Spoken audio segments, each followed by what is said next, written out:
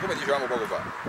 il 24 maggio 2018, con determina 2038-8-4 a firma dell'attuale dirigente del settore urbanistica,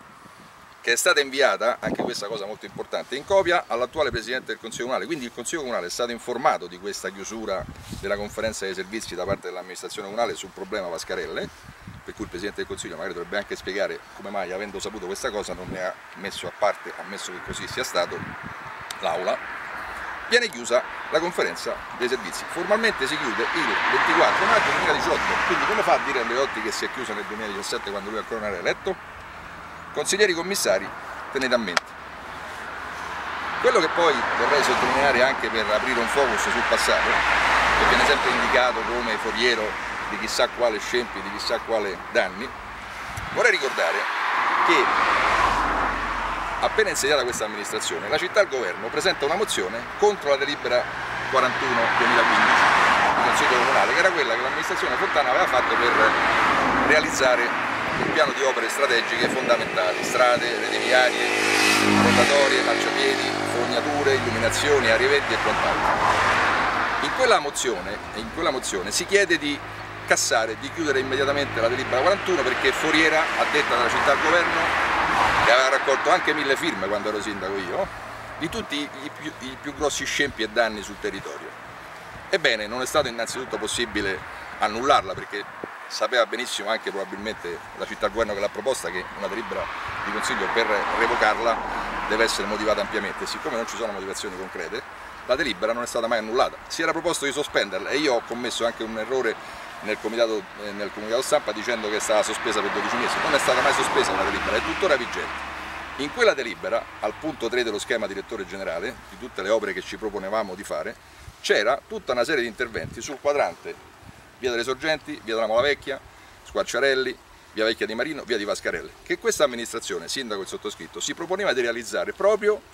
incrociando, tra virgolette, questo intervento edificatorio, perché la filosofia, come abbiamo più volte detto, era governare l'edilizia, governare l'urbanistica e non subirla, e dove si capisce che non si può fare nulla, perché secondo me questo è l'avviso che io realizzo su questa pratica, si va con i privati, si tenta un,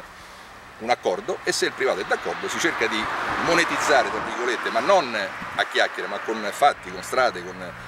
cavalcavia, c'era anche un cavalcavia sopra il parco di Squarciarelli da realizzare, cose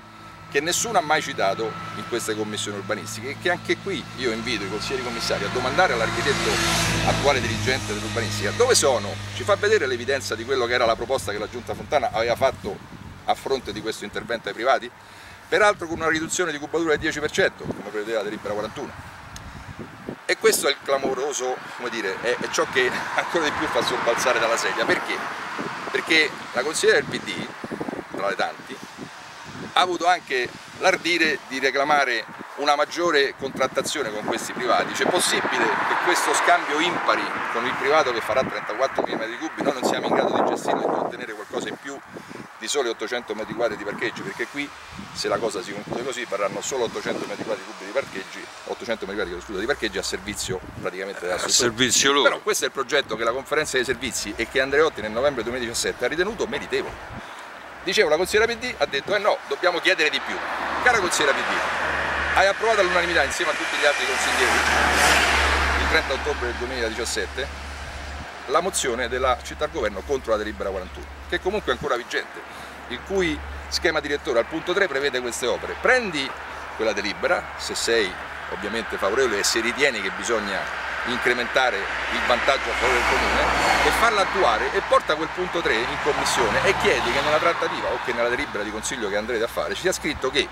richiamando la delibera 41, voi chiedete a fronte di questo intervento le opere che aveva chiesto la giunta Fontana e così lo scambio sarà